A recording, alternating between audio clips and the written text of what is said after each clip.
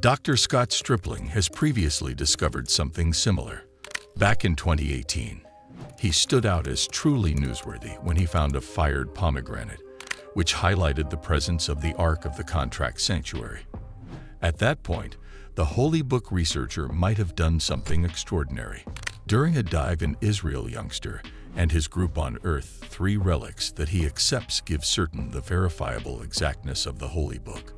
Archaeologists on Earth lost a city in Israel and find a scriptural mystery in its profundities.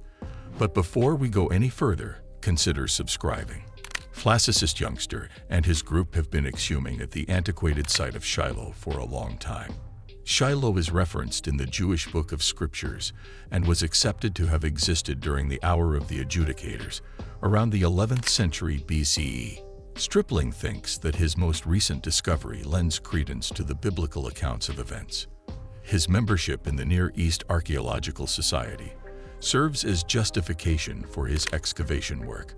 Before working at Shiloh, Fledgling has directed unearthings at different locales, for example, Tal el Hammam and Khirbet el Maqatir, which have additionally yielded huge scriptural relics. In 1922, a Danish group led the principal unearthings at Shiloh, and resulting unearthings occurred in 1926, 1932, and 1981. Tel Aviv college teacher Israel Finkelstein drove a three-year removal in 1981 and found bones accepted to be from the Bronze Age. While the Tel Aviv group considered the unresolved issues proof of Canaanite creature penances, Fledgling saw a scriptural association, referring to Leviticus section 7.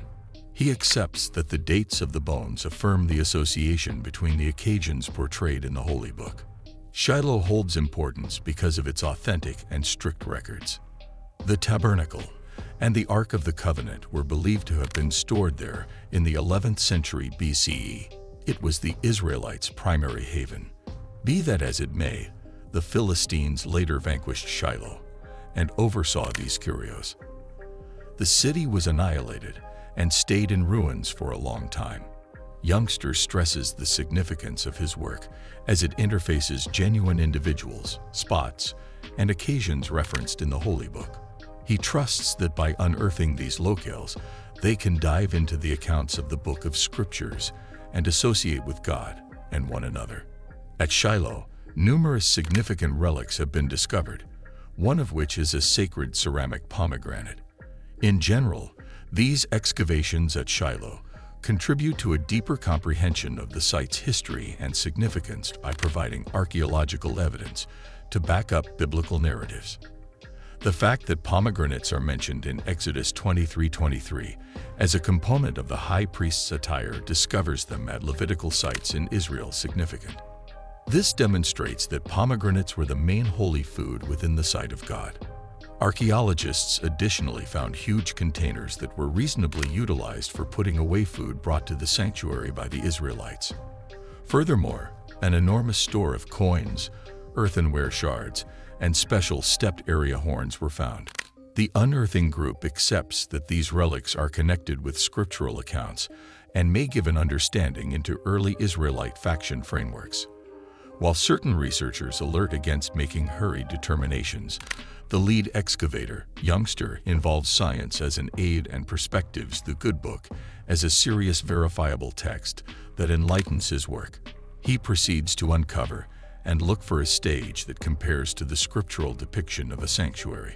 Ongoing discoveries at the antiquated site, called Shiloh, have been captivating, with new strategies, for example, wet sieving growing revelations.